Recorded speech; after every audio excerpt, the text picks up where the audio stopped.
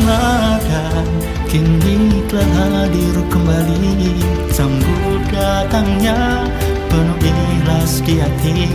Bersihkan diri dari nafsu duniawi. Sambut Ramadan.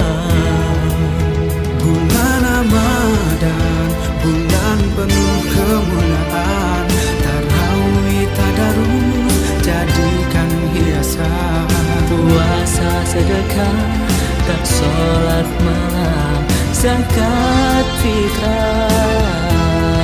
Sempurna